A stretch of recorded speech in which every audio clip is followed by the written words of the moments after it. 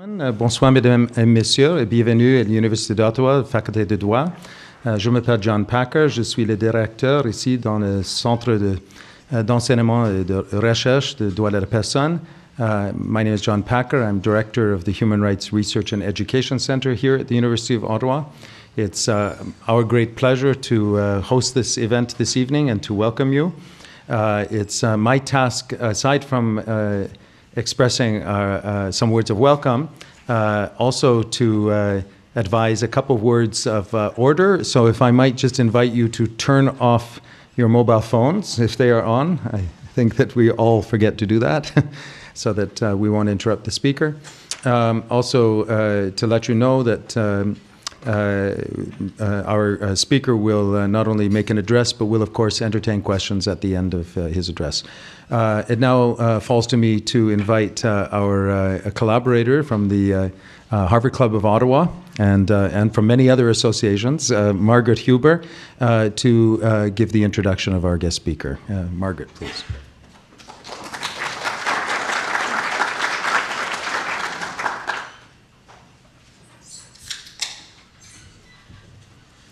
Thank you, John, and thank you for arranging for us today such a fabulous venue. And uh, we're really delighted to be here. Uh, je suis vraiment ravie que nous sommes si nombreux ce soir. Uh, and I'm especially glad uh, that there are so many young people in the audience, students, young professionals, since the Harvard Club uh, and also another organization that I'm affiliated with, the Canadian International Council's National Capital Branch.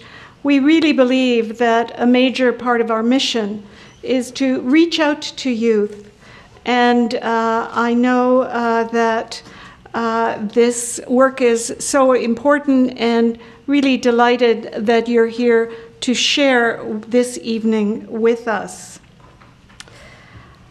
So, Alberto Mora, as you know, a former top lawyer in the US Navy, former Foreign Service officer.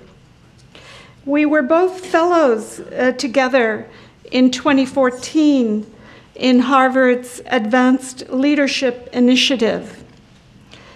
And you know, he's such a low key, modest guy it was uh, only uh, into this intense full year program that I learned what a man of integrity and accomplishment he truly is.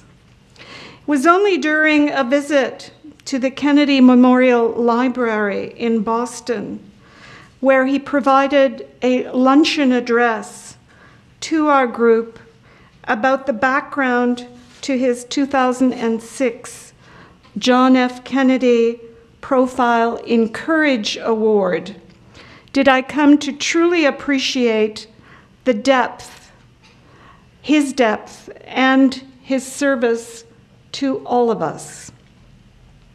His values, fostered by his mother, whose family had fled communist repression in Hungary his father, a Harvard trained doctor who had fled repression in Castro's Cuba. Alberto's conviction that human rights are incompatible with cruelty, that respect for the dignity of the individual is the foundation of the state is a message to us all. His campaign against the use of torture, against institutionalized cruelty, has deep resonance everywhere, including in Canada, where cruel practices can be seen. In our First Nations residential schools historical record, in the so called 60s scoop, or as recently illustrated in the media, through cruelty in some of our military training practices, or within prized institutions like our RCMP, contrary to the values to which we all aspire. As Alberto has pointed out, torture, cruelty undermines social values, undermines respect at all levels for how we are governed. Recently, a friend from cattle country in Alberta critiqued someone as being big hat, no cattle. By that measure, Alberto Mora needs no hat, but is followed by a growing herd of we who are convinced. But let's hear directly from Alberto. Thank you.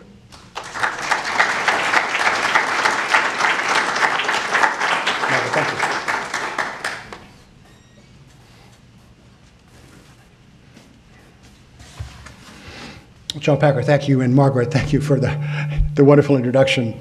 Um, I'll remember the cattle bit for, for some time. Um, you know, I think many of us have benefited from Harvard. I know, I know I have. I'm a kind of recent uh, uh, fellow with, with attachments to the school, but um, as Margaret indicated, we were fellows together um, three years ago for an entire year.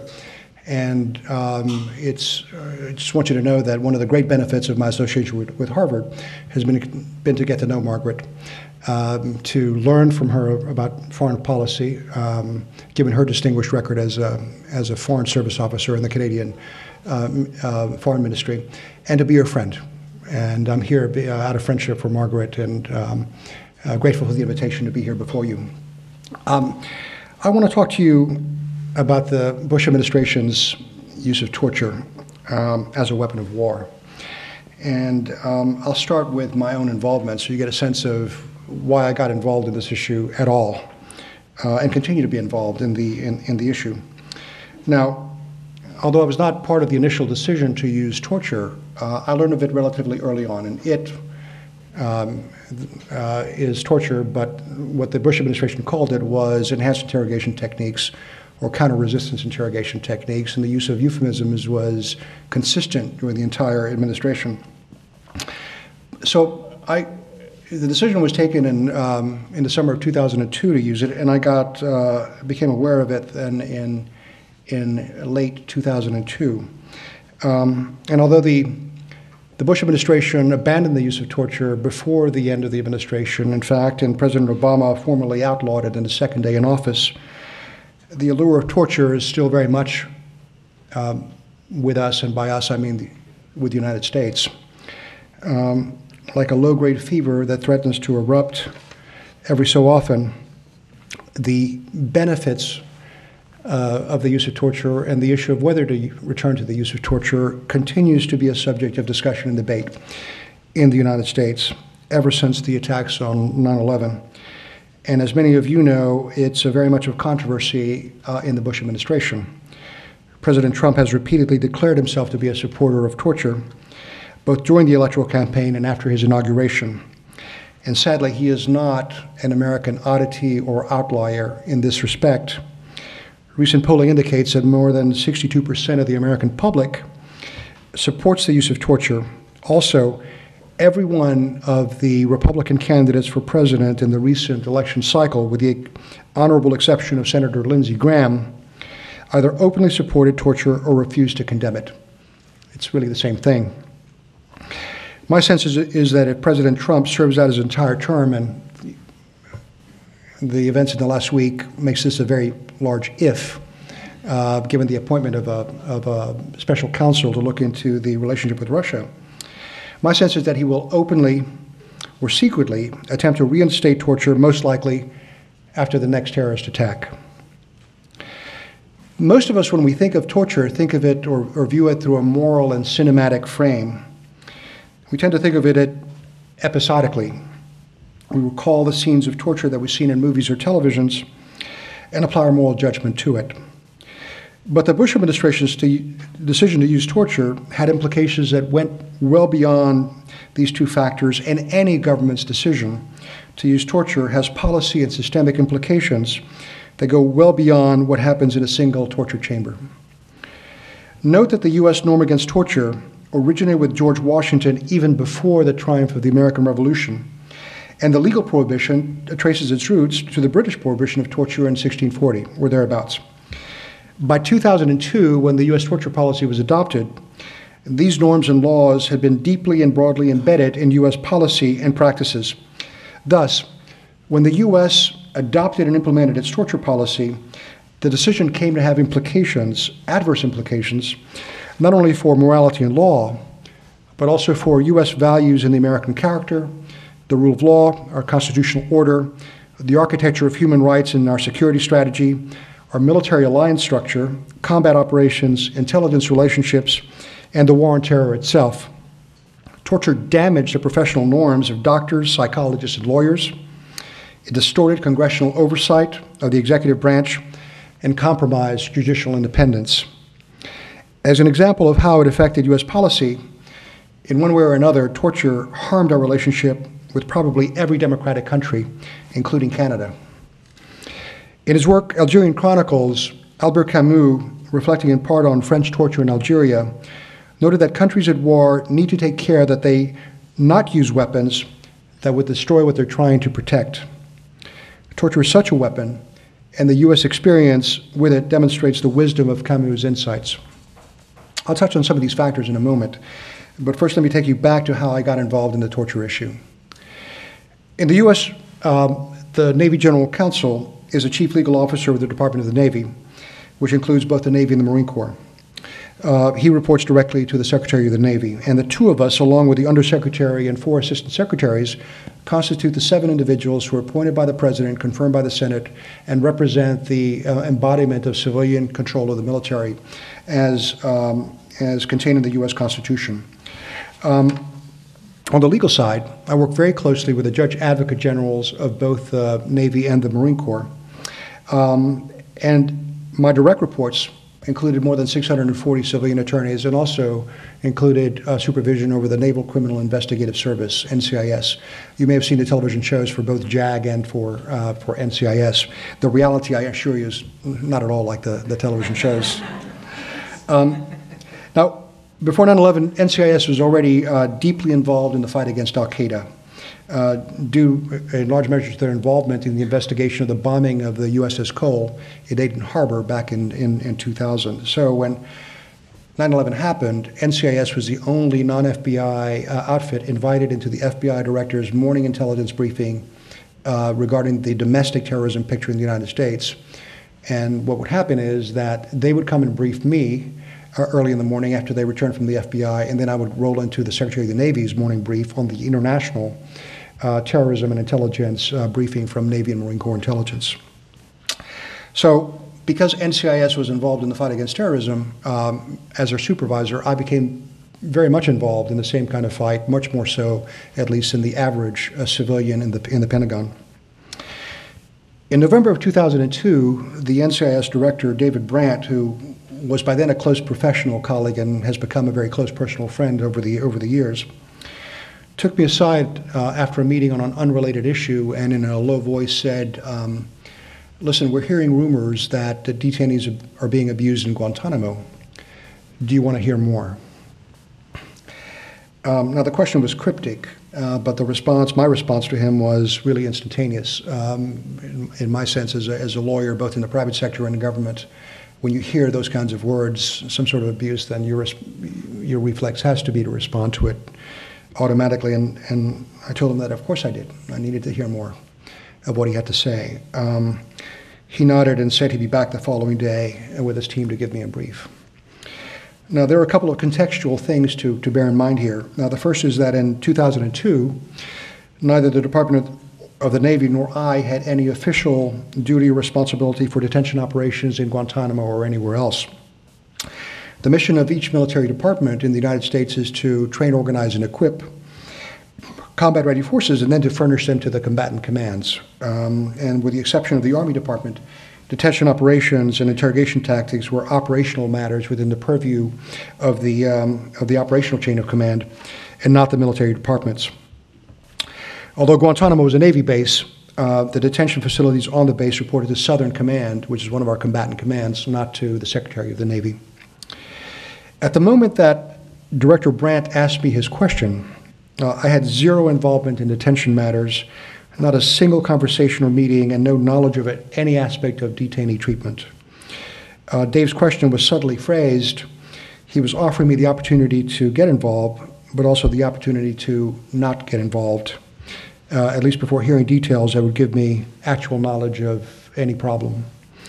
Uh, it was, in a way, uh, a courtesy extended from him to, to me, uh, who was then relatively early in our relationship, uh, a somewhat unknown person. He didn't, we had worked together, but he didn't really know how he would react in a highly controversial, highly politicized uh, matter such as this. So, ergo, the, the phrasing of the question from him. But as I, I mentioned, for me, not getting involved never, never crossed my mind. Uh, Dave came back the following day then with his, a number of his NCIS agents assigned to Guantanamo. Uh, at Guantanamo, the uh, NCIS agents explained during the meeting there were two interrogation task forces operating at the time an intelligence task force and a criminal investigative task force. NCIS was assigned to the second, the criminal investigative task force, uh, whose mission was to build prosecutions against uh, these terrorist detainees, either in Article 3 courts or in military commissions. Um, the agents had not personally witnessed any abuse, um, but Guantanamo was a small place, and they had heard from personnel assigned to the other intelligence task force uh, about the kinds of interrogation tactics that were being used. Then NCIS went snooping uh, without authorization, they tapped into the intelligence task force's computers and extracted some interrogation transcripts, one of which they pushed across the table uh, during the meeting uh, to me. The transcript detailed the sexual taunting of an unidentified detainee, whom actually years later I would learn was Mohammed Al Qahtani, the so called 20th hijacker.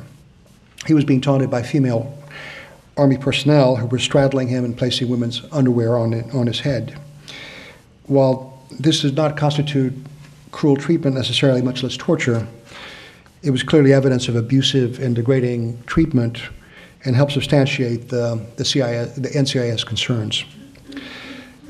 Director Brant and his NCIS colleagues were worried that the phenomenon known as force creep was already at play in Guantanamo.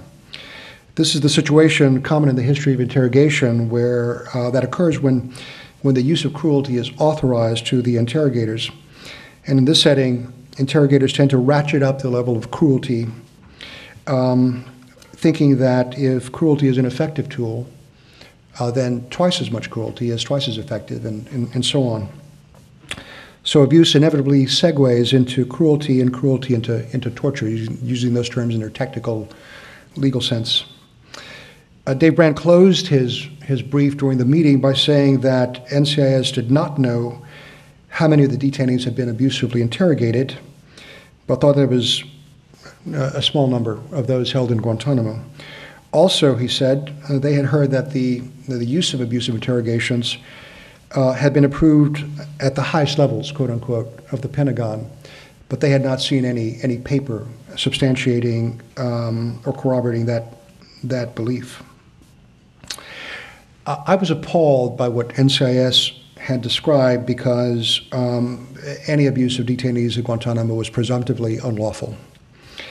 Uh, however, the degree of abuse I had been shown, while unacceptable, was still relatively mild in the scheme of things. Uh, the number of prisoners being abused appear, appeared to be low, and my thought at the time or at the moment was that this had to be rogue activity uh, by those, those guards in Guantanamo.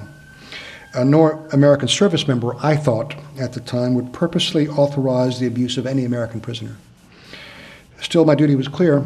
Um, if there was any prisoner abuse in Guantanamo or anywhere else, my duty as Navy General Counsel was to find it and report it and stop it. And I was confident in my ability to do that. As Navy General Counsel, I had considerable authority uh, in, the, in the office and considerable authority uh, over the, the personnel I supervised.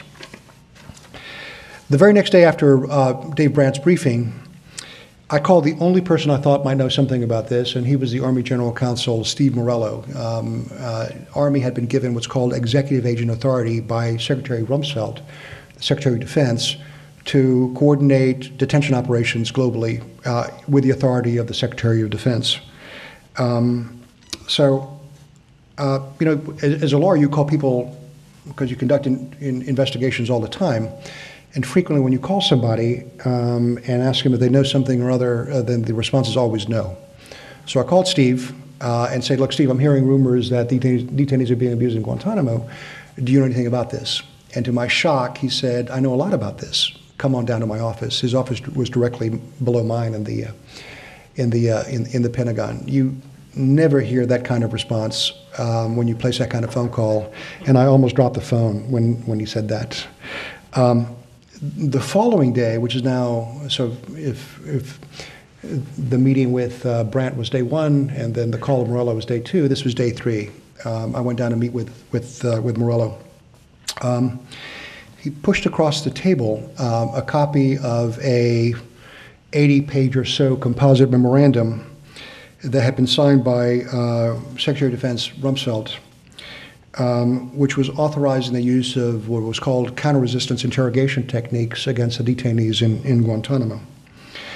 Among these techniques were the use of sensory deprivation, uh, detainee specific phobia techniques, stress positions, and the use of some force. Um, the, to the memo, uh, which had been authored by the Department of Defense General Counsel, Jim Haynes, there was attached, as I mentioned, a series of other documents. The very bottom document in the stack was a request for the authorization to use these techniques authored by the commander of Guantanamo uh, facility, and then that in turn was supported by a legal memo written by um, the senior uh, military attorney uh, supporting the base commander. She was uh, an Army Lieutenant Colonel, Judge Advocate General.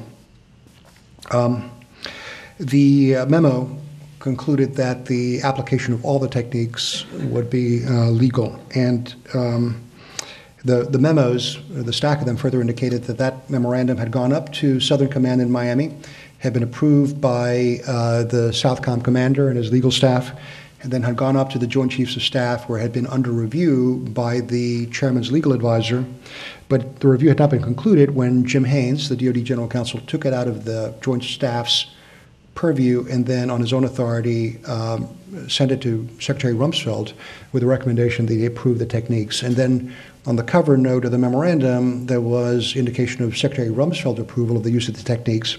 And then he had written in his own hand down below, I stand at my desk four to six hours a day. Why are they limited to, to standing? Um, uh, rather, I stand at my desk from eight to 10 hours a day. Why are they limited to, to standing from four to six hours a day?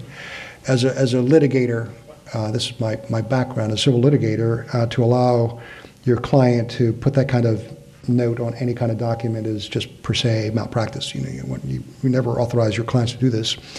But then when I saw this, I, and then in the presence of Morello, I was kind of thumbing through the document quickly to try to get a better sense of this. It was too large to read entirely, much less absorb in that moment. But I was looking for words of limitation. So I was pers- pursuing the documents to see some words that would provide to, to this effect. You may apply these techniques, but only until the point that it reaches the level of cruel and human and degrading treatment, at which point you're not to cross that line. Now, if the application of cruel and human and degrading treatment had been uh, provided for in the memorandum, arguably would have been legal.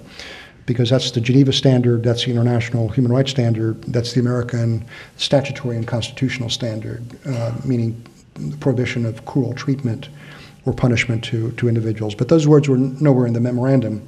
So what you had was a memorandum that, that simply authorized the use of these techniques in an unmodulated fashion. And it didn't take any imagination whatsoever to know that either singly or in combination, any of these techniques could, um, could constitute even, even torture, depending upon how they were applied.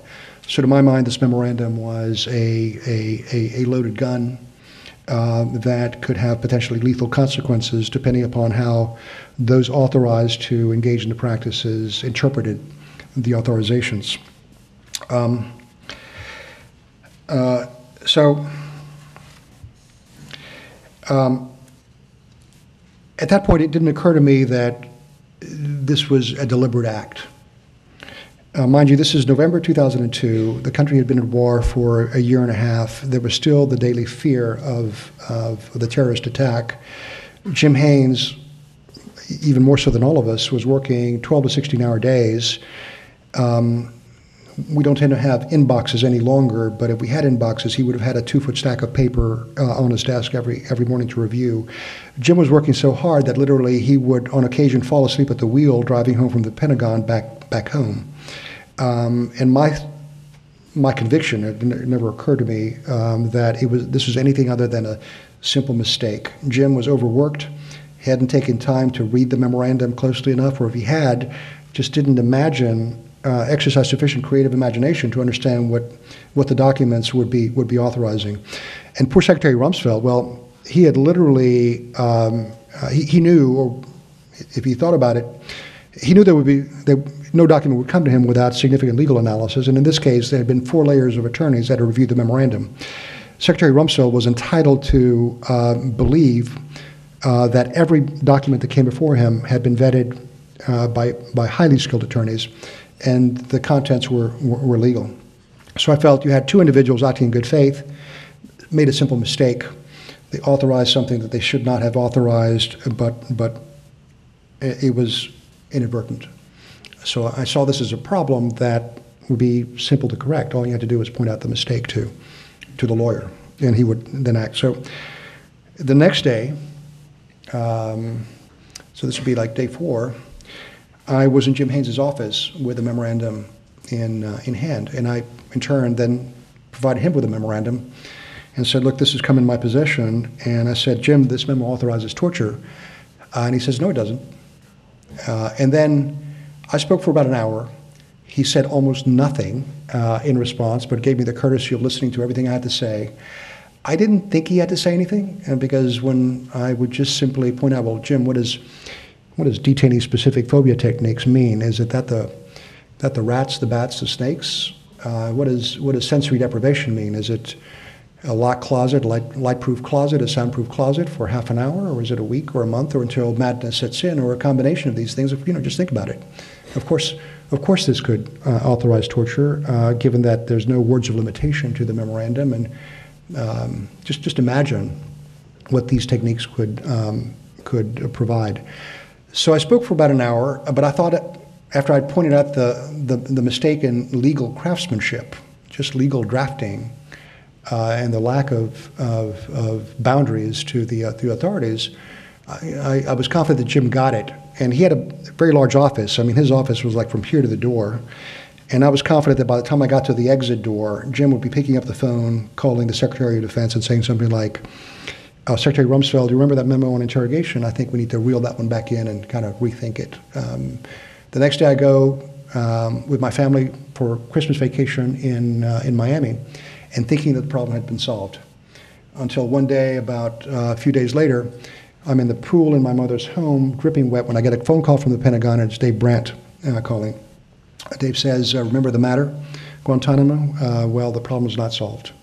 The abuse is still going on. And so I'm, I'm sitting there in the kitchen of my mother's uh, home, uh, understanding that this was not a matter of inadvertent draftsmanship or or legal malpractice of a sort.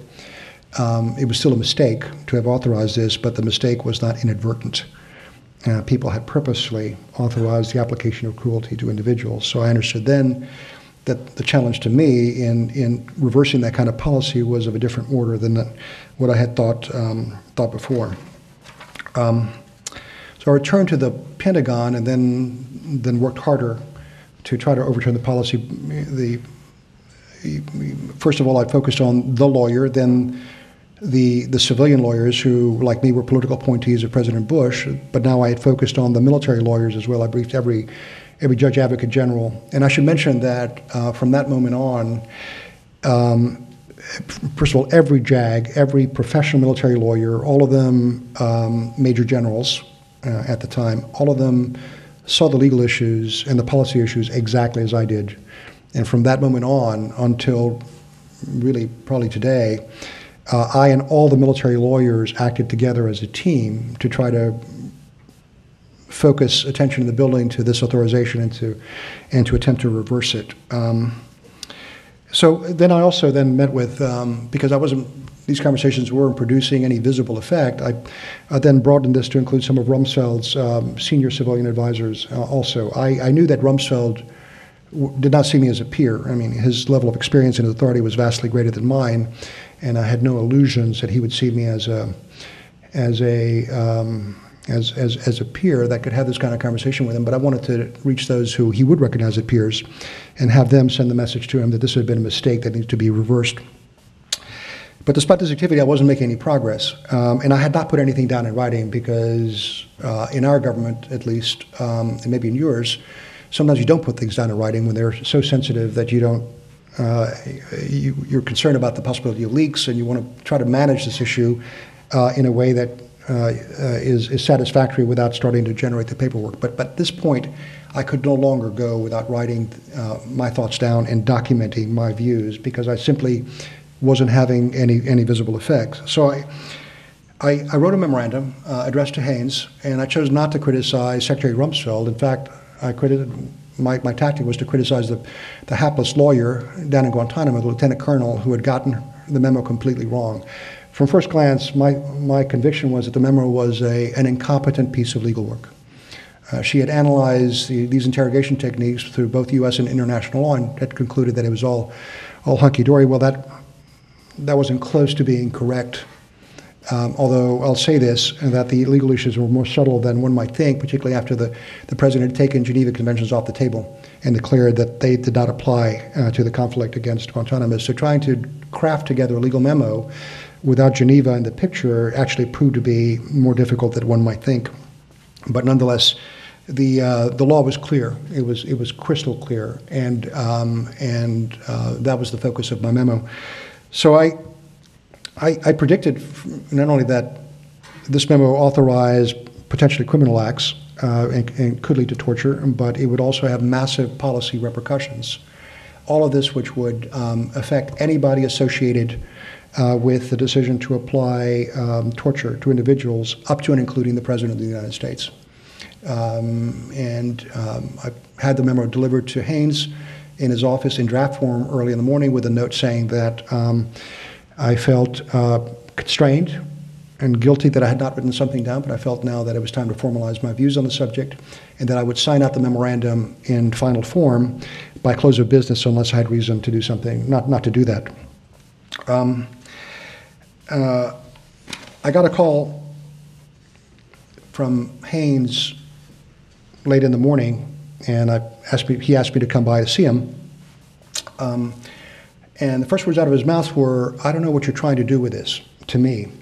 And I was so keyed up at the moment that I almost went over across the desk uh, and, and at him. But the next words out of his mouth were, Surely you must know what impact your words have had on me. And uh, by now it had three meetings with Haynes. I did all, all the talking. He never responded uh, to any of my comments or thoughts or ideas or, or positions. Um, so I said to Jim, Jim, I, you know, I have no idea what, what impact my words have had on you. Um, on the one hand, uh, you might think that everything I said was the gospel truth, or you might think that I was full of shit, or something in between. But because you never say anything, um, you know, I, am really at a loss to know what, what impact my analysis is that he, he started laughing. He says, Well, um, um, you'll be happy to hear that Secretary Rumsfeld is thinking about rescinding the authority. And that sounded good. And so I was kind of leaning back, thinking how to respond to that. When he goes, he goes like this I know, I know. He says, That's not good enough. Let me talk to the Secretary again, and I'll get back to you. By 3 o'clock, he had called me back and said, Good news, the Secretary has rescinded the authorities on Guantanamo. And, but he's ordered us to put together a, a working group of all the civilian and military senior lawyers to analyze the legal and policy implications of interrogation and report back to him in a month. That's another story. I won't get into that. Uh, but within a week, um, NCIS had called me and they said that we can confirm that the uh, detainee abuse in Guantanamo had stopped. So we had the, the assurance from the DoD General Counsel, uh, which was good enough for me and uh, about the the authority, and then we had uh, the representations from NCIS that had demonstrated its ability to know what was happening in Guantanamo, saying that the abuse had stopped. This was for us and for me a clear victory. Uh, it had taken longer than I had wished, uh, or all those of us involved in this would have wished, but finally, the, we had re- regained our senses. We had reverted to the traditional American policy, the legal policy, and we were off on the right track. Um, we thought this was a clear win. There's, there's, a, there's a lot more detail in this, but I won't get into that because it's this, story can be actually quite quite longish in, in, in full version. So those of us in the Pentagon who had taken this position in, in November 2002, January, February 2003, and obtained this result thought that we had stabilized the military policy towards interrogation. And we believed that until Abu Ghraib exploded on our television screens in uh, April 28, 2004, or about a year and a half after we had undergone these things in the, in the 60 Minutes 2 program. So that program, of course, broadcast the now iconic photographs of the uh, sexual and physical abuse of prisoners in Guantanamo with the leashes and the other, the other kind of stuff. Um, and the ensuing investigations, of course, indicated that what I thought was isolated behavior uh, limited to just a few detainees in Guantanamo was actually a much broader pattern of abuse that uh, had metastasized well beyond the confines of Guantanamo to include military operations in Afghanistan and Iraq and elsewhere. And what I learned then at the first at, at the uh, at the time was that, of course, that this policy was not only limited to the military. In fact, it had its origins in the CIA, uh, in the White House, with Department of Justice, uh, then uh, approval. And um, what the facts indicated, and now we all know to be, is that this was an archipelago of torture uh, that was deliberately uh, approved by the president, vice president, um, Secretary of State, Secretary of Defense, CIA director, and, and, others. In fact, the CIA's enhanced interrogation policies went up to the uh, National Security Council on three separate occasions, and it was approved each of those times. Um, although the de- details of the or the quality of knowledge um, can can be debated. I, don't I, actually don't think that there was a lot of knowledge among the senior leadership, and maybe even including President Bush, as to what the interrogation techniques actually actually provided. So we know that this was. We now know that this story originated with the CIA in the summer of 2002. Um, and at the time, the agency had advised the White House that because of legal limits, um, uh, the standard interrogation techniques then available would be inadequate for the task. So the way that the CIA put it was, look, we're capturing these bad guys, but unless we have authority to go beyond existing legal limits, um, then if the detainee refuses to answer questions, we're out of luck. We have no way to uh, compelling the information that is so vital to uh, securing the United States.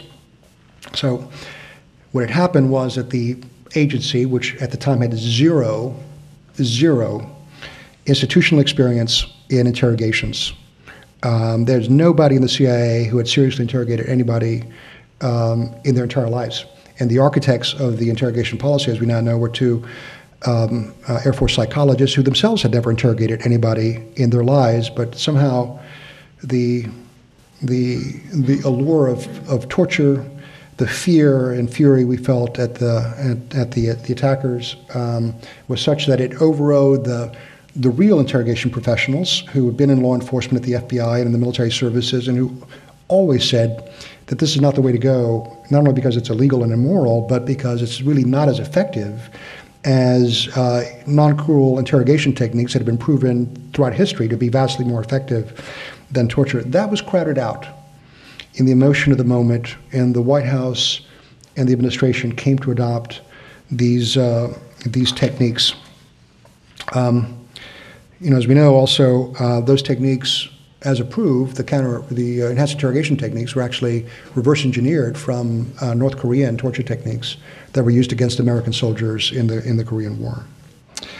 So, with the authority in hand, as provided by John Yoo and others at the uh, Department of Justice. Um, and with CIA Director George Tenet as the lead manager, uh, the CIA established a program that became known as the Rendition Detention and Interrogation Program, RDI dozens of victims, some completely innocent of any combatant activity, were tortured in this program, either directly by CIA officers at the so called black sites around the world or uh, through um, cooperative third countries, including Syria and Egypt, who applied torture at, at our request. This is the rendition program, part of the RDI uh, program, outsourced torture.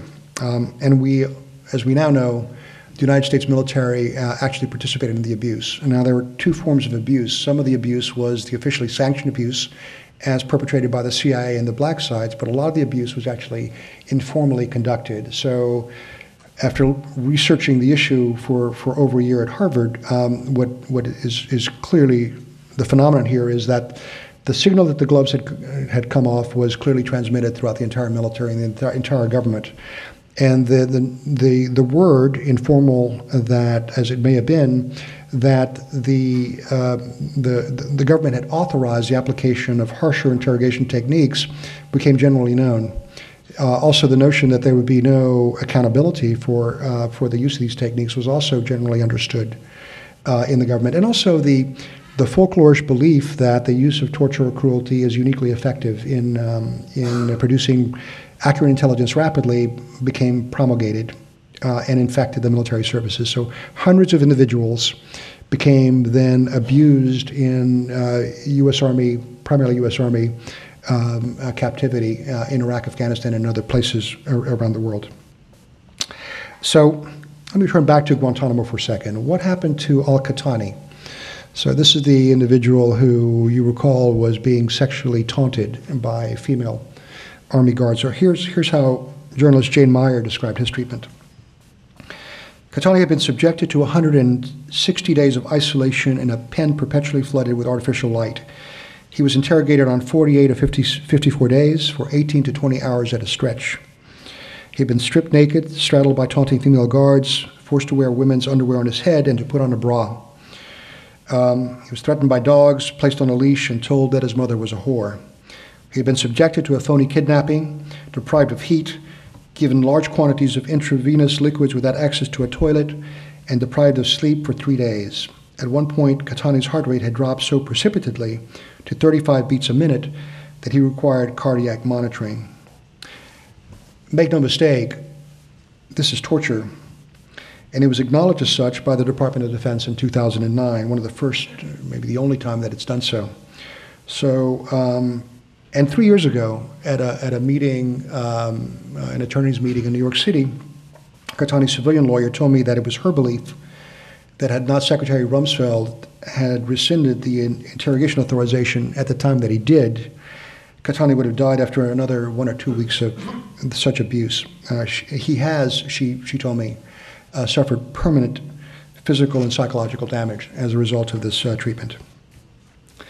Now, how did the United States come to use torture in the, uh, in the war and why? Clearly, the fear and fury we all felt after 9 11 was the critical factors, um, as was the belief that those who belonged to Al Qaeda had self selected to opt out of the human race just through their sheer, sheer savagery of, their, of the attack.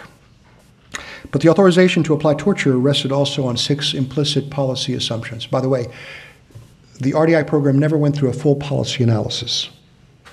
Uh, the, the Bush White House only asked itself the question, can we do this, which is the legal question. It never asked itself the question, should we do it? Um, uh, Philip Zelikow, who's the, the wonderful chief of staff to the 9 11 uh, task force, was counselor to the State Department in 2005 2006, uh, has said that had the, the NSC taken the trouble of asking a couple of junior analysts to put together a memo over the weekend as to the policy reasons why enhanced interrogation should or should not be used, they would have gotten back on a Monday morning uh, a list of 50 reasons why the United States should not engage in the application of torture. But that memo was never, never asked, never, never sought, and never provided. So, as strange as it may sound, this decision never went through the policy analysis that many other lesser decisions um, usually uh, take. So, what are the six reasons? What are the six policy implications? And here, here they are. The first is that torture is uniquely effective in producing information, and its use was necessary if the United States was to be protected against further loss of life. Now, this assumption is categorically false, and in fact, the clear failure record of torture during the Bush administration proves this. Despite the folklore that torture is effective in eliciting truthful information rapidly, this was not only not the case, but the use of torture was both counterproductive and distracted uh, from the uh, use of non brutal interrogation techniques that could have been more effective than enhanced interrogation. In December 2008, the, Se- the Senate Committee um, of the Armed Services concluded in a report entitled Inquiry into the Treatment of, U- of Detainees in U.S. Custody, which was issued without dissent by, by both Republicans and Democrats on that committee, that brutal interrogation techniques, quote, damaged our ability to collect uh, accurate intelligence that could save lives, strengthened the hand of the enemy, and compromised our moral authority, end quote. Similarly, in 2015, the Senate Select Committee on Intelligence examined the CIA's 20 major claims of success in the RDI program after reviewing the totality of the, um, the, the, agency's written documentation uh, and internal documents on the program and concluded in their final report that, as their first conclusion out of 20, the CIA's use of its enhanced interrogation techniques was not an effective means of acquiring intelligence or gathering cooperation from detainees. And two, that the CIA's justification for the use of its enhanced interrogation techniques rested on inaccurate claims of their effectiveness. I should note that in 2005, General Stanley McChrystal, when he was commanding U.S. troops in Iraq, turned down an offer by President Bush in, uh, to confer on, upon him authority to use enhanced interrogation techniques in the Iraqi theater of operations. By then, General McChrystal had seen the data indicating that the units that did not use brutality uh, obtained better intelligence and had better relations with better community and thus better combat records than those units uh, in, uh, in, uh, that, that did use brutality. In fact, the U.S. Army in Iraq conducted a double blind experiment uh, because some units were using brutality, others were not. And with when McChrystal, with ironically the the very capable assistance at the time of General Michael Flynn, who was an intelligence head, this is actually almost shocking given recent recent developments, but. General Flynn was a very able intelligence commander uh, working for McChrystal. And they put the numbers together, they analyzed the data, and uh, the data was clear. And it took McChrystal, he's, he's told me personally, about two years then to scrub the use of, of brutality from the U.S. Army in, in Iraq. But when he did so, the performance of U.S. military increased dramatically and contributed significantly to the success of the surge that would come uh, two years uh, two years later. So when in the Oval Office, not or not in the Oval Office, but in the White House, when when Bush turned to McChrystal, and out of the blue asked him, General, do you need EIT authorities in, in, in Iraq? And the body language was such that Bush was ready to give it to him and was expecting to say, to hear McChrystal say, yes, General, yes, Mr. President, I need that authority. When McChrystal said, no, no, sir, we're doing well. We don't need that authority. Bush was surprised by the, by the answer and, and did not then pursue the matter, matter further. So that was number one, um, uh, the belief that it's uniquely effective. Number two, that no law prohibited the application of cruelty. Thus, the government could direct the use of cruelty as a matter of policy, depending on the dictates of perceived military necessity. So, this too was absolutely false. Uh, U.S. law in 2002 and before, including the constitutional and constitutional jurisprudence, statutes, and treaties, categorically prohibited the use of uh, the use of cruelty on captives.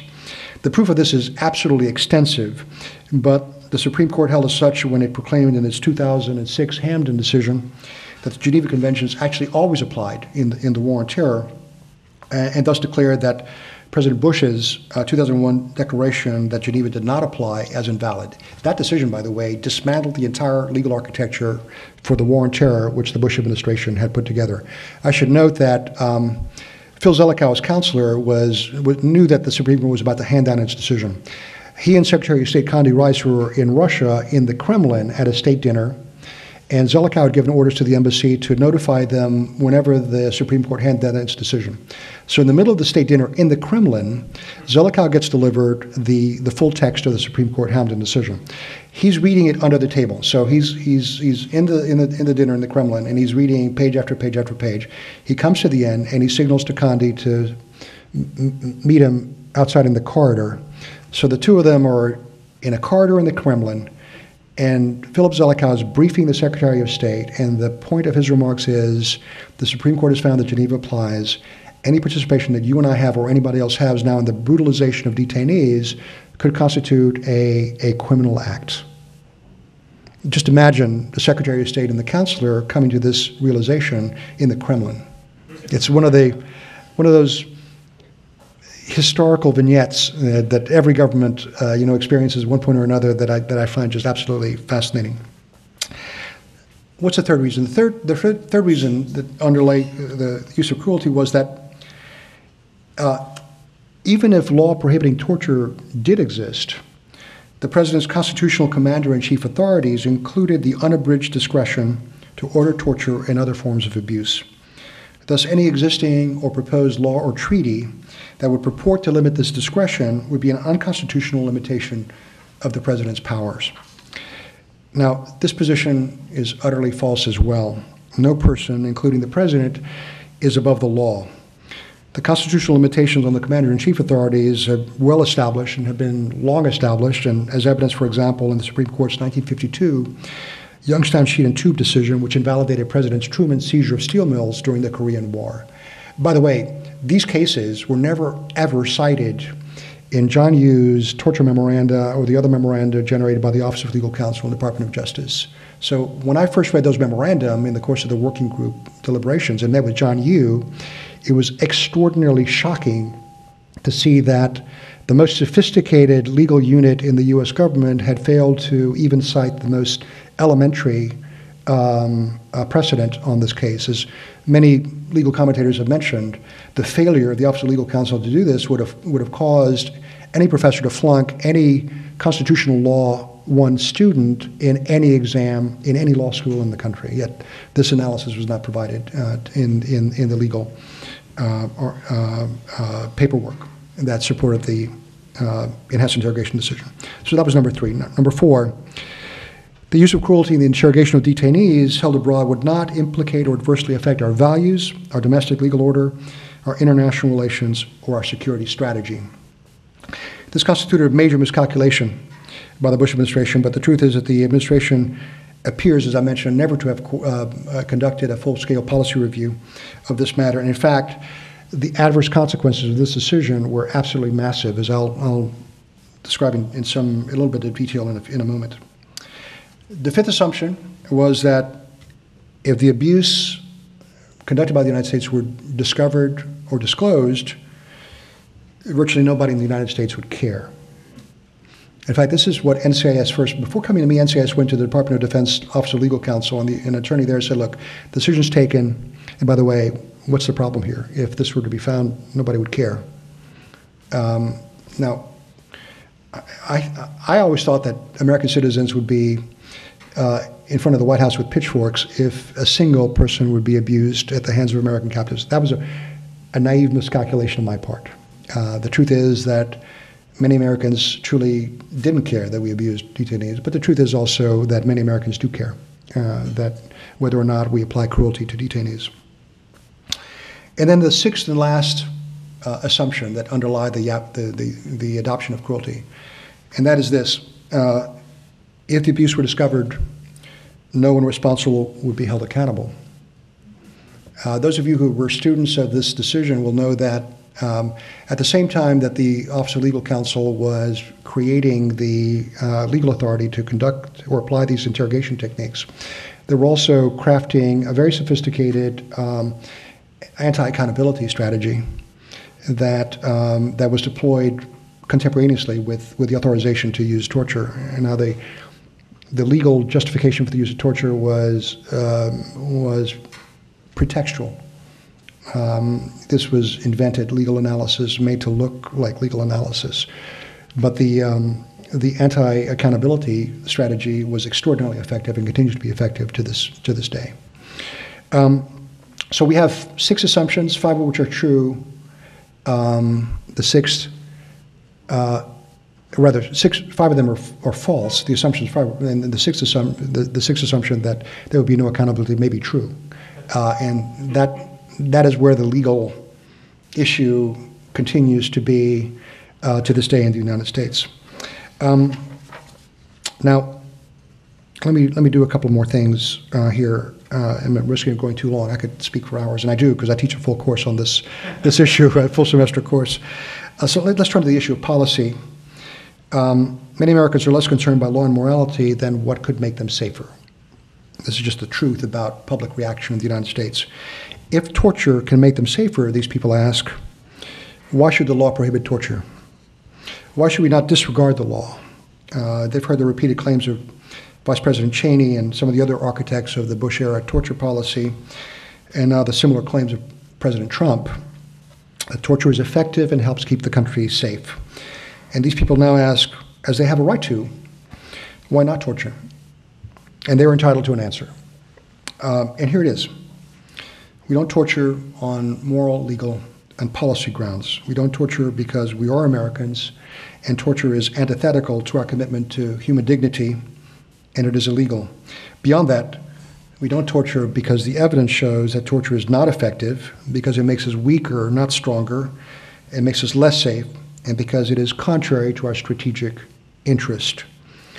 The application of cruelty, cruelty and torture harmed and continues to harm our nation's legal, foreign policy, and national security interests in multiple ways.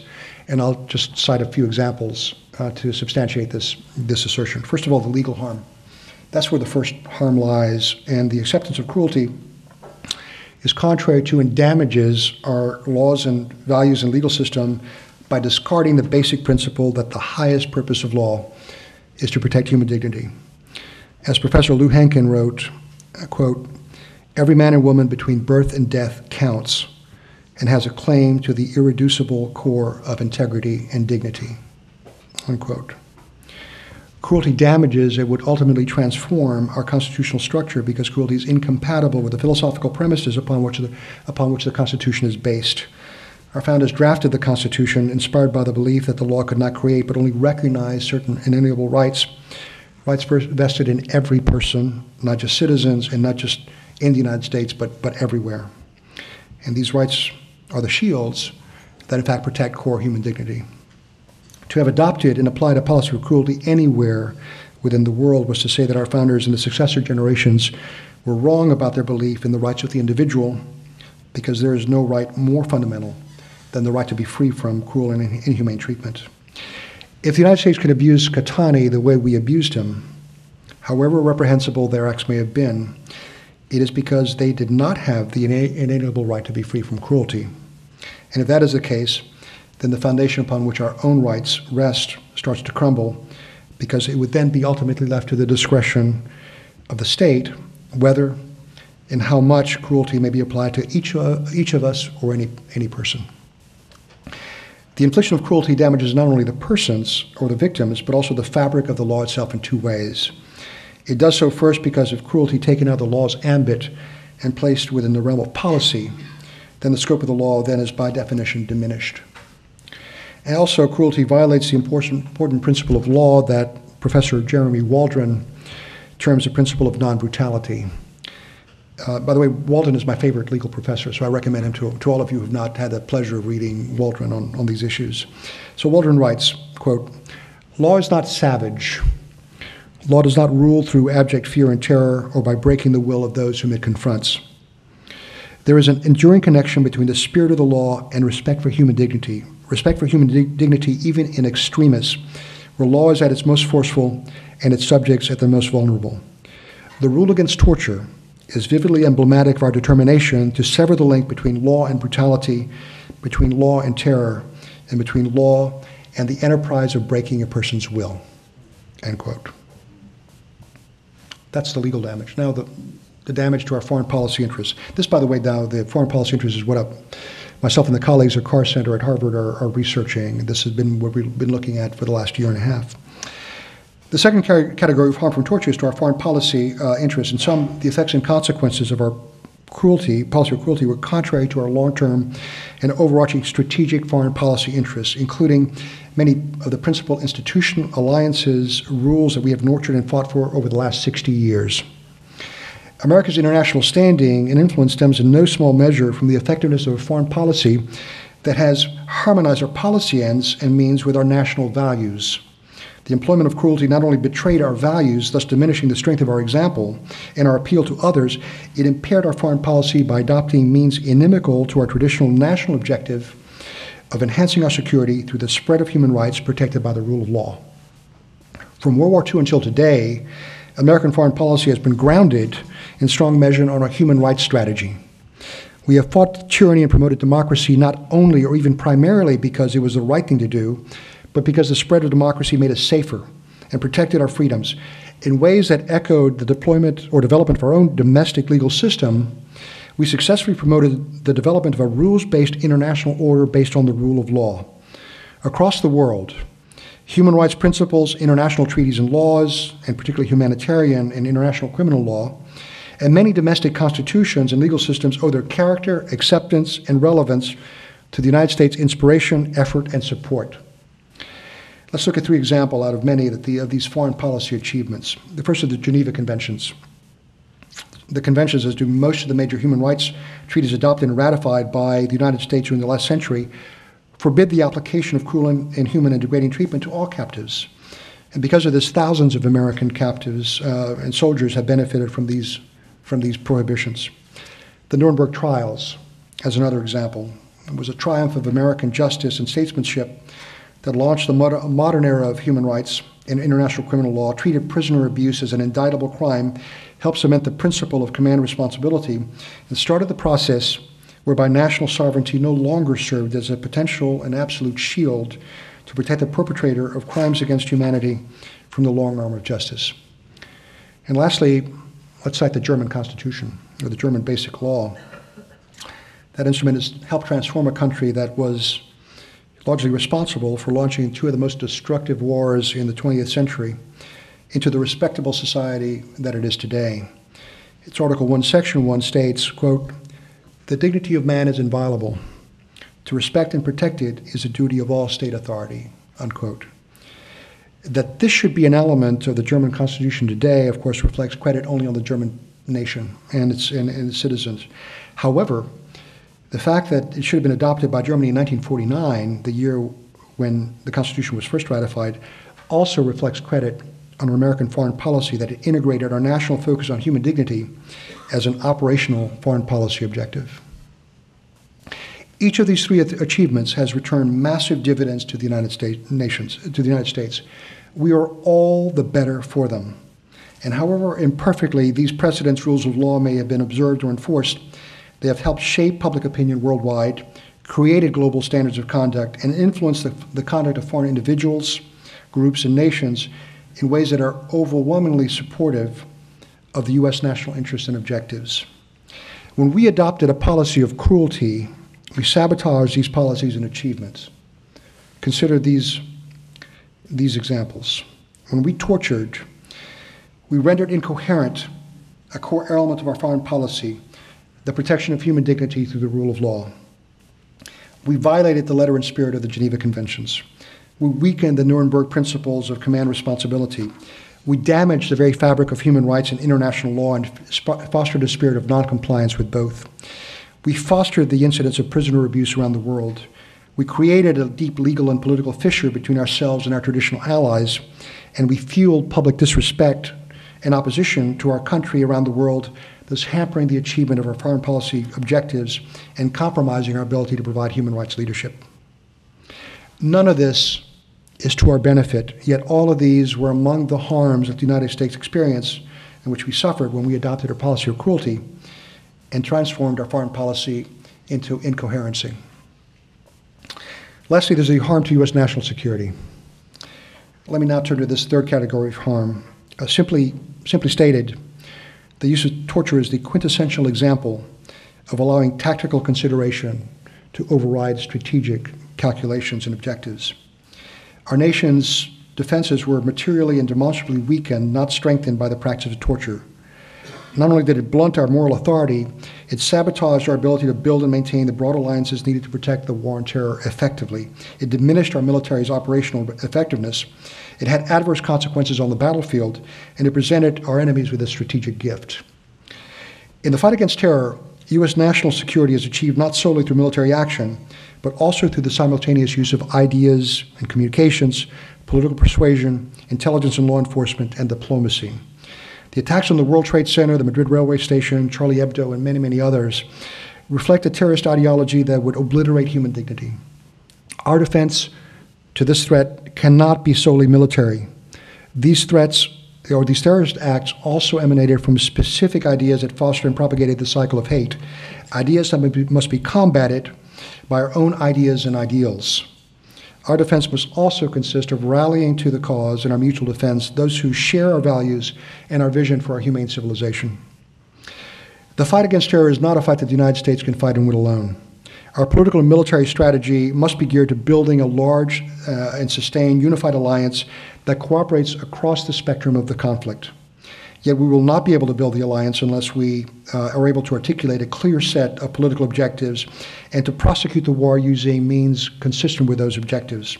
We will not be able to build the alliance uh, unless we constru- uh, construct with our leading allies a common legal architecture that is true to our shared values, and we will not be able to establish that common legal architecture if we were to insist, as we once did, on the discretionary right to apply cruelty to detainees. When the U.S. adopted a policy of cruelty, we compromised our ability to accomplish these national security objectives. And here are four examples of strategic damage to, to the U.S. national security. First, because the use of uh, uh, the cruel treatment of prisoners constitute a criminal act in every European jurisdiction, including Canada, Australia, and New Zealand, of course. European cooperation with the United States across the spectrum of activity, including military intelligence and law enforcement, diminished once this practice of torture became apparent. Second, almost every European politician who sought to ally with the United States uh, in, the, in the fight against terror incurred a political penalty as a consequence, as uh, is demonstrated by the political difficulties of former Prime Ministers Tony Blair and Jose Maria Aznar. Third, our abuses at Abu Ghraib, Guantanamo, and elsewhere perversely generated sympathy for the terrorists and eroded the international goodwill and political support that we had enjoyed after September 11th. And fourth, we lost the the ability to draw the sharpest possible distinction between our adversaries and ourselves and to contrast our two antithetical set of ideals. By doing so, we compromise our ability to prosecute the war on terror uh, in this aspect of the war, the war of ideas, from a position of full moral authority. All of these factors contributed to the difficulties the United States has experienced in forging the strongest possible alliance uh, in the war on terror. But the damage to our national security also took place not only at the strategic level, but also at the operational and tactical military levels. And so consider these four points. First, senior U.S. military officers uh, maintained that the first and second identifiable causes of U.S. combat deaths in Iraq were respectively Abu Ghraib and Guantanamo. Um, because the effectiveness of these, these two symbols as a uh, recruiting um, vehicle for the enlistment of uh, individuals into the fight against American forces in Iraq. And you can find that, by the way, in WikiLeaks. Uh, there's a cable, 2005 cable, that reflects a three day uh, senior meeting, which included General McChrystal and others, to discuss the strategy. And this is the first conclusion that the uh, participants in that conference reported out uh, from, their, from their meeting. Second, at various different points, some allied nations, including New Zealand, refused to participate in combat operations with the United States out of fear that in the process, enemy combatants captured by their forces might be abused by U.S. or other forces. Third, at other times, allied nations refused to train with us in joint detainee capture and handling operations, also because of concerns about U.S. abusive practices. And lastly, our policy of treating detainees harshly on the battlefield could have stiffened our adversaries' resolve on the battlefield by inducing them to fight harder rather than surrender, and this too could have led to the to the uh, loss of American lives. By the way, the logic of Geneva militarily is that not only do you expect or hope to get reciprocal treatment, but if the enemy understands that if captured, uh, they're going to be treated humanely, they're more likely to surrender than, than not. This is one of the principal reasons why the U.S. military hated the abandonment of Geneva and lobbied hard within the administration to return to the Geneva Standard. Now, um, let me bring this to a close, but let me just mention a couple of things about Canada. Um, um, and actually, I, I and my colleagues at, at, Harvard would like to understand better the U.S. bilateral relationship as it was affected by torture. And as I've discussed with Margaret, we hope to come back and, and um, research this in greater depth and would welcome any assistance that any of you could give us in understanding this, this um, dynamic better. But let me mention some things that we do know about how U.S. torture affected Canada and affected the U.S. bilateral relationship. Now, um, uh, obviously, we have a very strong relationship. It's, a, it's, one of the closest set of bilateral relationships in the, in, in the world. But the U.S. decisions, of course, strained that relationship, compromised it in some important ways. Uh, the detention of Omar Khadr, of course, the 15 year old Canadian citizen in Guantanamo, was a, a, a flashpoint more than an irritant in, in uh, Canadian opinion towards the United States. Then, of course, then the, the abduction of uh, Maher Arar, another Canadian citizen, and his rendition to Syria for torture then became a cause célèbre in, in Canada and became a, uh, an object of not only major embarrassment but an obstacle to deeper relationships. Now, Canada, to its credit, did a number of things as well. Canada refused to turn over prisoners to the United States in Iraq out of fear that the United States would abuse them. So, what this also meant was a, a separation uh, of military forces in the battlefield in ways that could not have been good to the alliance. Uh, how that may have affected tactical combat operations is a matter that is not yet understood uh, fully, but it had to have uh, some some consequences. But let me mention what is, I think, the most tantalizing bit of evidence about where Canada stood on, on this issue. Uh, I happen to have been the senior U.S. official at an uh, international military law conference in Singapore in 2005. And at one point of the conference, I was literally surrounded by the chief military lawyers in uniform of Canada, uh, United Kingdom, Australia, New Zealand. And the four of them told me that what I needed to understand as a senior American at the conference was that their country's cooperation with the, with the United States across the range of uh, activities in the war on terror in the fields of intelligence, military cooperation, and law enforcement would continue to decline if the United States persisted in abusing detainees uh, the way we were abusing them.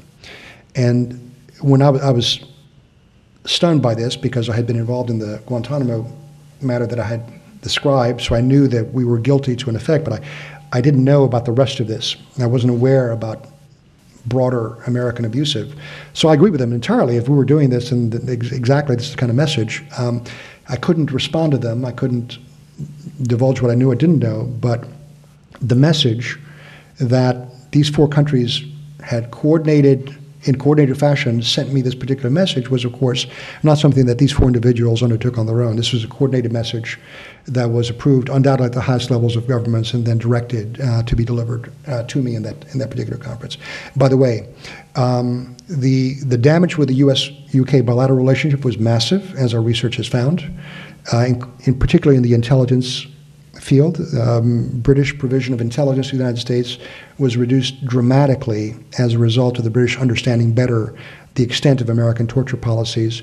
New Zealand pulled its SAS formations out of combat in, in, uh, in Afghanistan because the New Zealand Prime Minister concluded that he could no longer um, uh, take the risk that the, that the integrity of this premier military formation might be compromised uh, by close contact with American Special Forces units that were that were using torture on a routine basis. So um, this this is the subject of our publication or research, and we found many examples of significant military intelligence and, and political damage along these lines, but because this is in the realm of classified information, high level state to state discussions, almost all of this information is, is still contained in classified archives or in the memories of those officials who participated in there.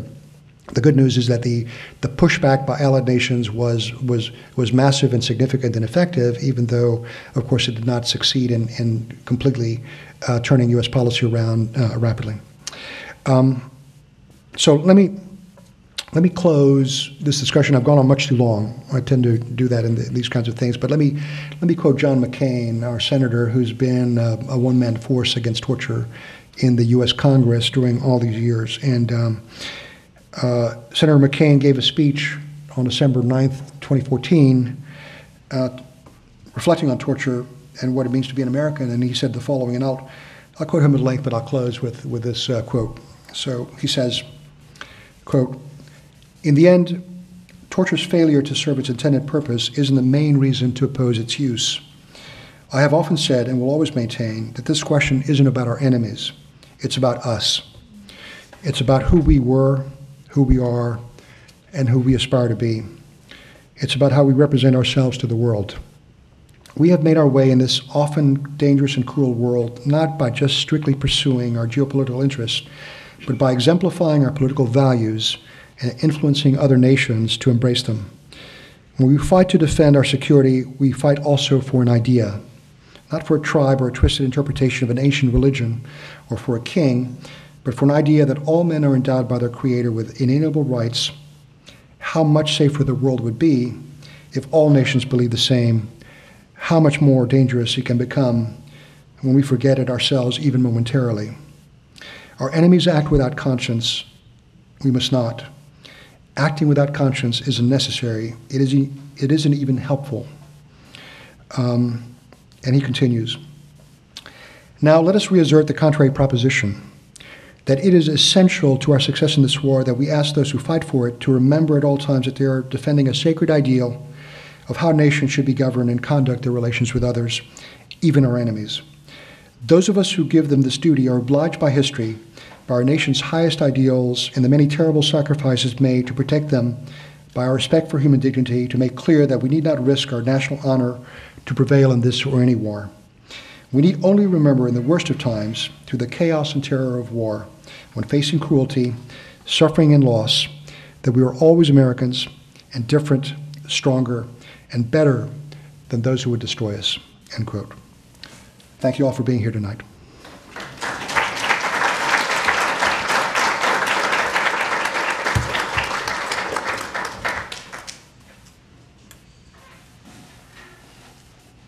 Mesdames et Messieurs, before I ask Alex Neve of Amnesty International Canada to offer formal concluding remarks and thanks to fantastic. Um, Alberto very kindly will be answering any questions you might have about his presentation, uh, about our mini course at Harvard that we enjoyed tonight, uh, about what is going on in the world involving torture, what is going on in the world that may be of interest to you. And we'll start with Laura Peck and then Sven Yershevsky. Did you want me to go to the microphone? That would be good. Yeah. Although you've got such a great carrying voice, Laura, I really need it. Fascinating uh, presentation. And you invited us to give you suggestions on how we Canadians handle such issues. And I entirely get that this was done in the theater of war and there were terrorist issues very present. But may I suggest that if you ever want to see the perfection of interrogation, um, we had in Canada a very uh, senior, one of the most decorated officers, a general, who his name is Russell Williams, and he turned out to also be a serial killer. And this guy went undetected for quite some time and savagely murdered many, many women. And there are tremendously educational uh, videotapes of the police person, the man, who interrogated him. The subtlety, the brilliance. He got Williams to spill his guts. It's incredible to watch. So you can probably get it if you look at CBC uh, archives. And as a as a professor, you I mean you have to show some video in class at some time. But this interrogation is is exactly what you're talking about in terms of its effectiveness, because Williams also was so brilliant. As well as to look at the guy, you're not ever going to think that this guy is a serial killer. Uh, however, this policeman did it in such an effective way. I, I, highly recommend that you you have a look at it. Great, thank you for the for the recommendation. Thank you, Laura. Um, next, we'll have Sven Yershevsky, Phil uh, over there, and uh, right here. Sven. One of the things that struck me was that you never mentioned that war is a political act. It was simply a military act, and that is one of the great failures of the war on terrorism, that the political dimension was never addressed, hence some of these issues. In 2005, I was stationed in Croatia, and amongst my uh, duties was to encourage the Croats and certain individuals to give themselves up for trial in the ICTY.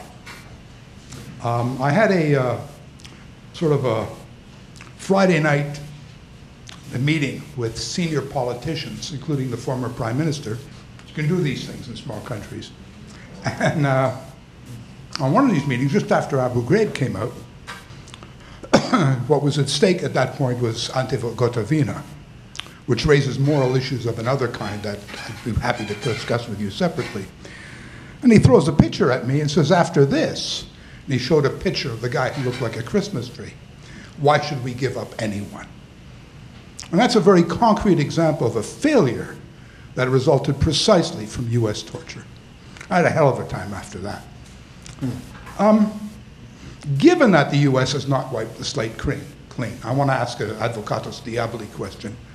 Given, and things like this happened, and that the principle of command responsibility was not implied, how can the US still, without charges of, of damaging charges of hypocrisy, persist with a policy, a foreign policy based on values? How? I think it's very hard for the United States to do that. In fact, uh, the- you know, we didn't, there are lots of issues we didn't get to discuss a lot, but the American failure of accountability continues to compromise our, our credibility and our, our- and our ability to lead uh, credibly on uh, human rights and international legal issues and on many other uh, issues around the world. Um, I had a senior civilian official who worked with AFRICOM, works with AFRICOM, she's still uh, there, who um, was there before and after 9 11 um, before and after Abu Ghraib, and she said, before Abu Ghraib, we had complete uh, credibility with each of the 49 uh, uh, African nation militaries.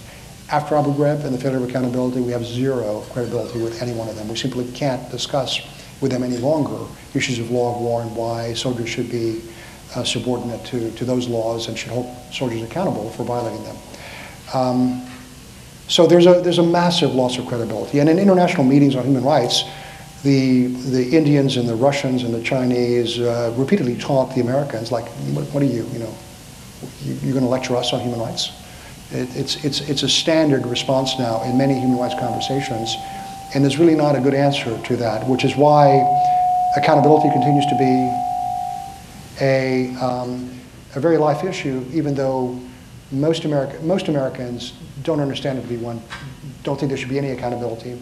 And even within the, um, the government, um, there's a desire, like with Barack Obama, unfortunately. Uh, Barack Obama, for all his moral acuity and his intelligence, um, when he said that we need to look forward, not backwards, uh, as if uh, accountability for criminal acts is not always a backward-looking exercise. Um, uh, he failed to understand the, the continuing damage that lack of accountability would, would uh, cause to the United States. So I see this as a very much a unsettled issue, and I think we will not regain that credibility until we, we address it in some credible way. Phil Gurski and then Ken Watson. Thank you, Mr. Moore, for a fascinating talk, and thanks for coming up with a lot of lot to give it. Thank you. Uh, hypothetical question, sir. Uh, you now have a president uh, who may or may not last a full four-year term, who, if, if memory serves me correct, bragged during the, the, the campaign that not only was waterboarding not torture, he do a hell of a lot worse if you were president. Yes. Will you be here, sir, in four years to talk about torture under the Trump administration? Um, well, you know, as I, as I mentioned, my view is that Trump's going to try to implement this at some point. It's going to be harder for him, and the military is poised to resist. So, um, and I know this because I've been in contact with many of the military officials, and all the research I've done, by the way, has been in conjunction with West Point. West Point has been our full partner in having holding two conferences, one on the, the tactical consequences of the U.S. use of torture, and the second on the strategic consequences of the U.S. Uh, use of torture. And just two weeks ago, we had, um, I moderated a, a, a half-day discussion at Harvard with the superintendents of the three major military academies at Harvard talking about values in the military profession and um, human rights in, in, uh, in our national security strategy. So the military will, will tell Trump from the first moment, they were poised to do this immediately after inauguration, that if he were to order them to reinstate waterboarding and other tortures, they would consider that to be an unlawful order and they would refuse to obey it. Now, I have less confidence in the CIA. Uh, the, the, CIA deputy director appointed by Trump is a proud veteran of CIA black sites, and the, the CIA agents who implemented, uh, constructed, um, um, uh, and staff, the, the enhanced interrogation program were promoted, honored, and are maintained. They suffered no career damage whatsoever within the CIA. So, uh, given that lack of leadership and lack of uh, kind of restructuring, I think the CIA must be considered to be a, a, a, tool that a President Trump could, could, could, could use again. Now, the law is stronger. Uh, there are um, many other barriers against the use of this, but which is not to say that Trump would not try to secretly uh, order Mike Pompeo and others to return to rendition and other kinds of other kinds of practices. Sobering. Ken? Mr. Mora, thank you for a fine, uh, fine and useful talk. I liked uh, the first part of Senator McCain's uh, quote, where he said, uh, "This is not about whether it works." I worry that uh, the more space we give to the argument that uh, the torture is is ineffective in getting information, the more space we give to it, more implicitly we're saying that it matters, whether it's effective in getting information or not. So I, I think that there's a kind of a subtle but important problem there. I think the second problem that's kind of related to it is that, as you said, um, a large majority of Americans don't believe that. And I doubt that they're going to be convinced anytime soon. So I, I suggest that giving much space to that part of your good arguments might be counter counter.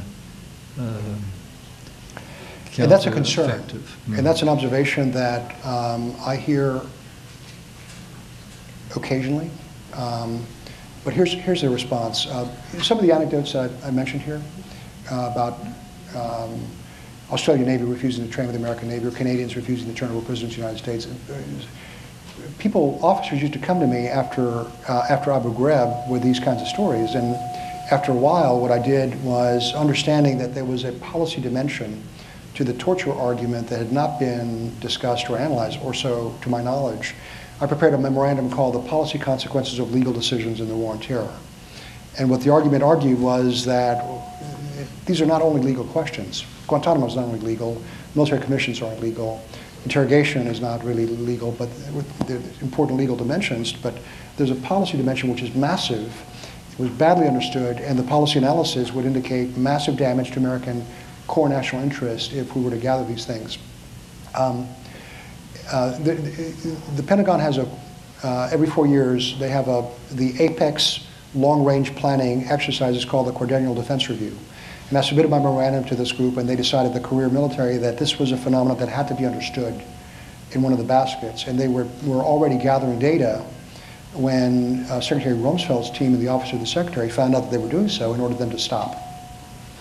Um, which to me, this is kind of akin to what actually happened at CIA, where CIA ordered the Intelligence Science Board not to conduct scientific research into the scientific basis for enhanced interrogation because he didn't want to hear, didn't want to learn what the data uh, showed. So as long as Tenet was secretary, he, he blocked that, that, um, that scientific investigation.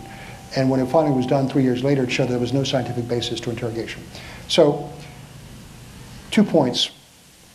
We need to understand the policy at the heart, I agree with you. The basis, uh, the objection to, to cruelty and torture is inherently moral.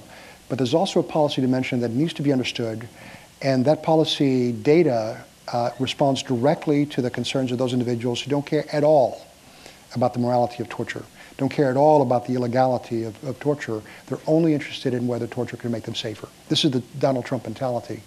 And I think that um, um, the arguments against torture are both are, are, are legal, moral, and, and, and policy. And, and the most effective argument is deploying all three of them, not just limiting it to, to one or the other. Um, having said all of that, I'll, I'll, be the first to confess to you that despite teaching this issue and researching it for like three years now, full time, I don't have a, an elevator story. You know, I don't, I, I'm incapable of reducing this to a soundbite that would be effective to a drunk in a bar. You know, it's um, uh, so if, if you have ideas, um, th- there's the academic side to this, there's a legal side to this, there's a policy side to this, and there's a political side to this. And um, my view is that most of the issue now is in the political sphere. The fact that the Republican Party is almost uh, objectively a pro-torture party is a national tragedy. The fact that the issue of torture has been politicized, where Democrats and Republicans are opposite sides of the issue, um, is, is a national tragedy.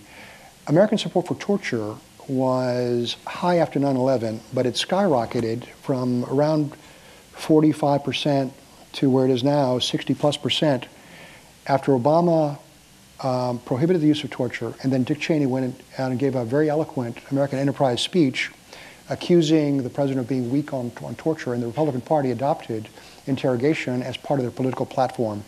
When that happened, and you can trace this, polling firms have, have done this, Republican support for torture skyrocketed to more than 80%.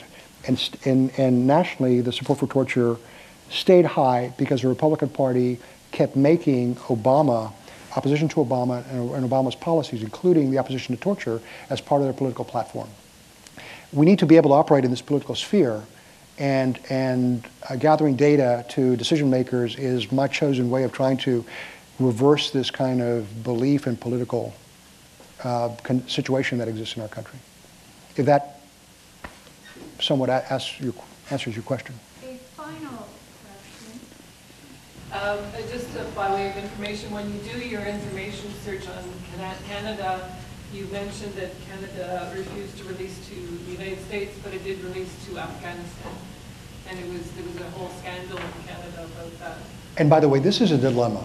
Uh, because this is a dilemma. Because I would talk to American JAGs who, uh, in fact, at West Point and, at, military bases, who would talk about putting together like 80 page briefs documenting the crimes that an individual Afghan had committed, and then taking the prisoner with this evidentiary compilation to their Afghan counterparts. The Afghan military would take person in custody take a look at the document and throw that in the garbage can. They would ask the person, what, what tribe are you, what sector are you, and the answer to that question would depend upon whether they'd be treated cruelly or with, with some measure of respect. They were unable to, um, to significantly modify, as far as I know, I don't, I don't have the actual date on this, but uh, Afghan cruelty internally was, I think, largely untouched by American efforts during this entire war. So we, we tell the American forces and we enforce the, the, the prohibition against treating people cruelly, but American forces cannot maintain custody of everybody in the Afghan theater, theater of operations. So what do you do in that kind of situation? And I, I don't know the answer to that question. But my real question was the following. You referred to a legal memo uh. But there, I was at Harvard and Alan Dershowitz, a professor, of law advocated for torture. Yes. So I wondered if, if he had an input into, uh, you know, your, your story. Uh, we, I, we, I've, I've thought about inviting Alan, and, and I don't know him personally, um, to our class to justify, uh, you know, his position. I have, I just don't have a desire to hear his pro-torture arguments. He'll tell you, and he, his writing is that I don't believe in torture, but I recognize the, uh, we, we, we almost recognize the reality that it will take place. And it's better under this, this situation to seek to modulate the use of torture and reduce its ultimate use rather than to uh, allow it to be conducted in, in the shadows in an unregulated fashion. I think it's a false argument. I think it's specious. Uh, it assumes facts not in evidence and, and unprovable, uh, and it's um, so deeply disgraceful for a Harvard president to be essentially conveying a pro-torture argument. I, difficult to try to engage in. I'd now like to invite the amazing Alex Neve uh, to offer concluding remarks. And we're very grateful to Alex because he's here straight off a plane from Vancouver.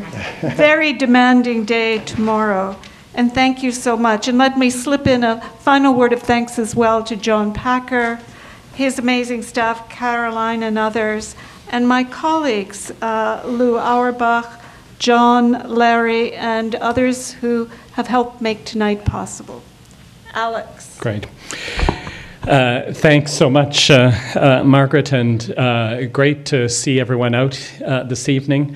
Uh, and, and what an honor for me to be able to firstly express on all of our behalf tremendous thanks, deep appreciation, and I think most importantly, very heartfelt respect, uh, Alberto, for.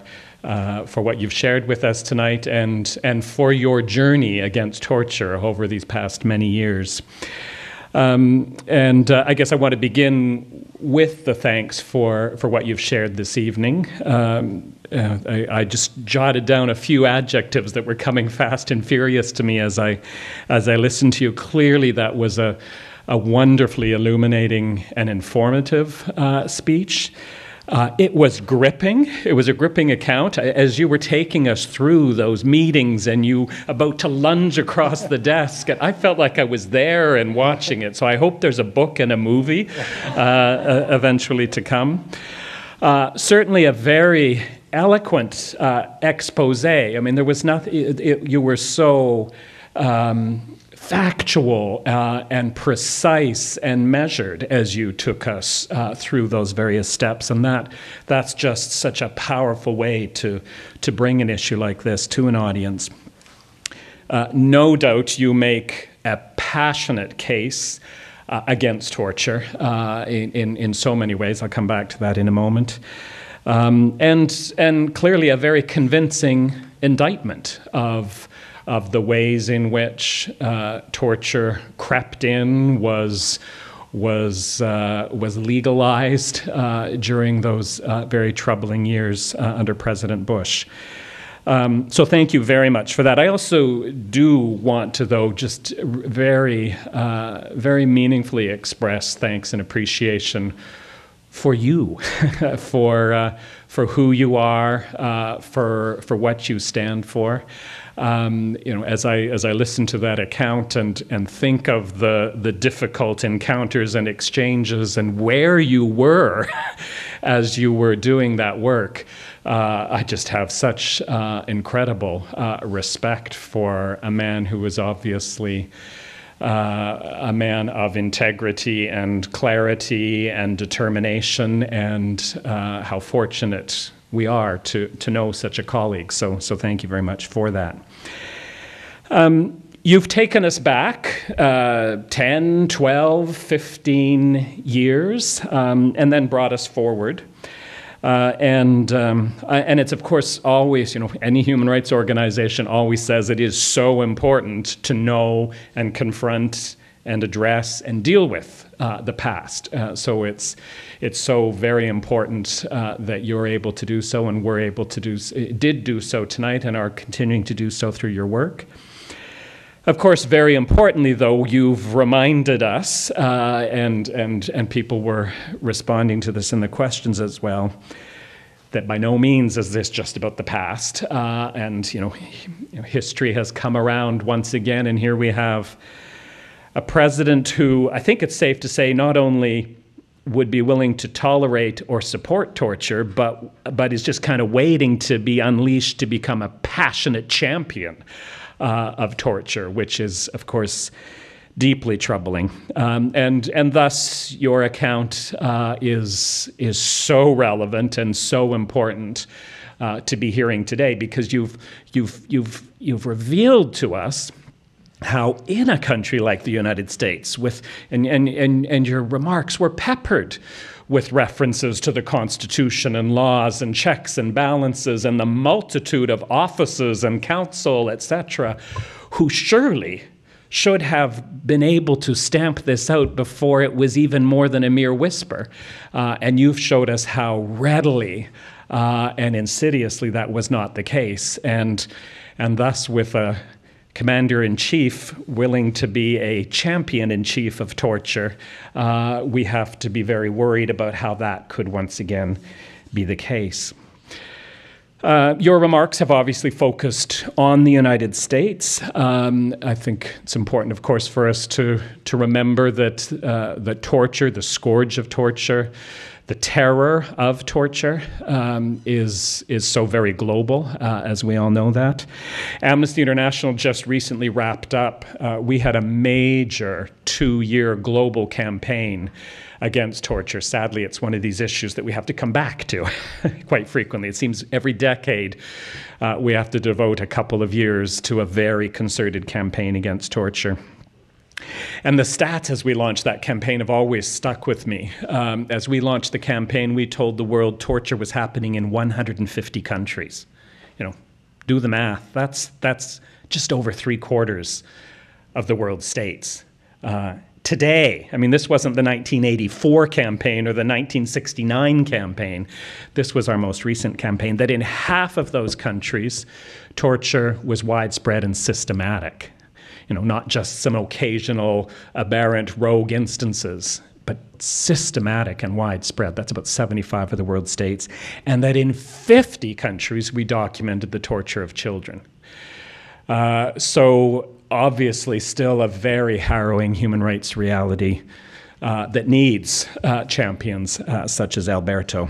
And of course, today we need go no further than Syria. Uh, Amnesty a couple of months ago put out what and, and I, I, you know after my many years of, of work I, I always find it amazing that there's still reports that come along that can kind of take me down to a even grimmer and more harrowing level and the most recent report we had on torture in Syria uh, absolutely was the case. And now, of course, we have the U.S. revelations that crematoriums are now being used to to cover up the the deaths uh, from torture in Sednaya prison.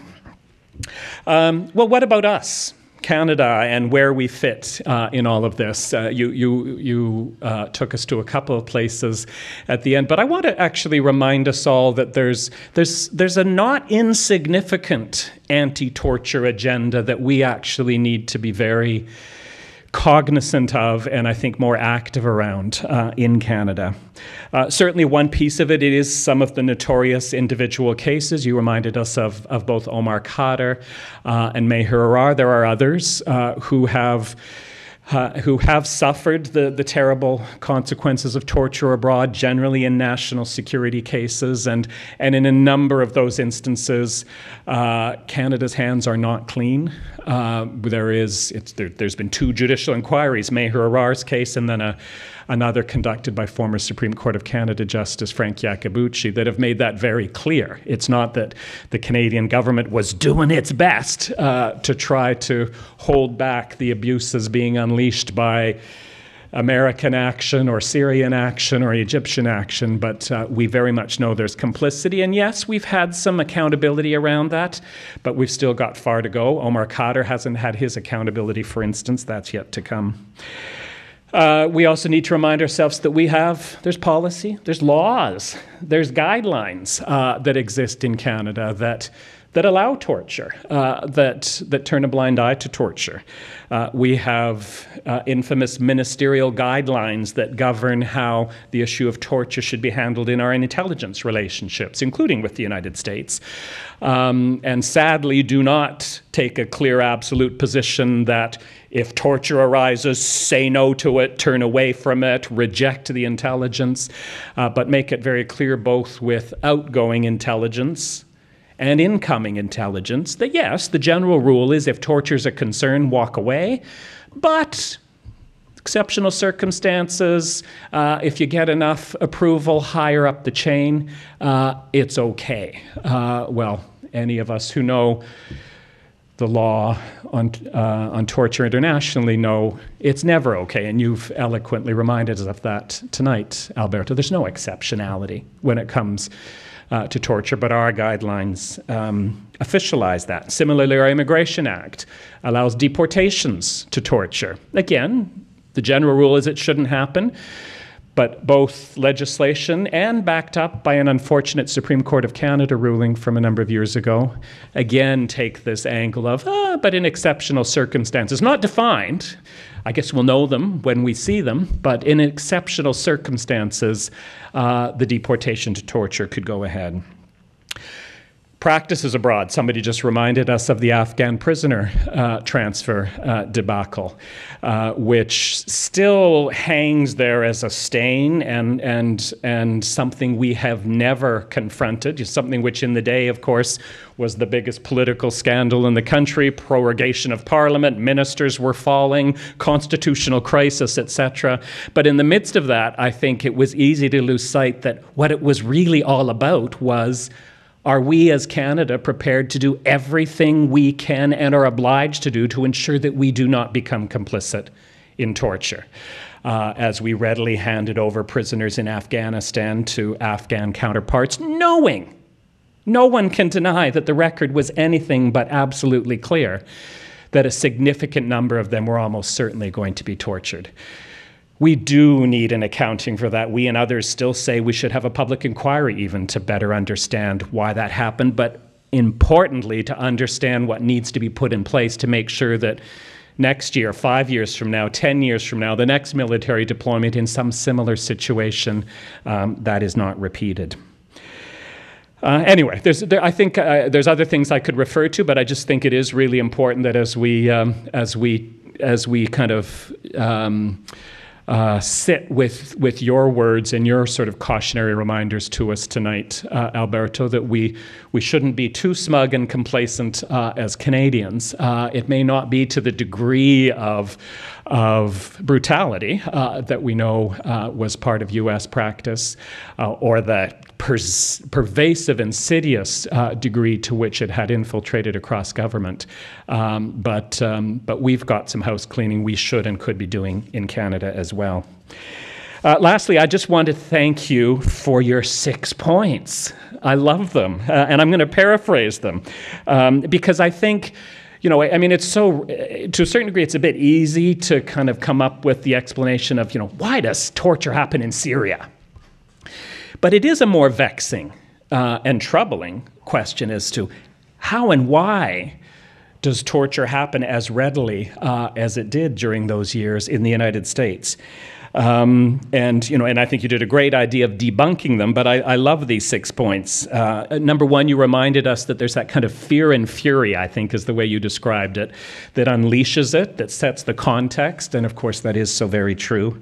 Um, but um, uh, you know, sort of these assumptions of it, it, it, it does get unleashed because people believe torture works.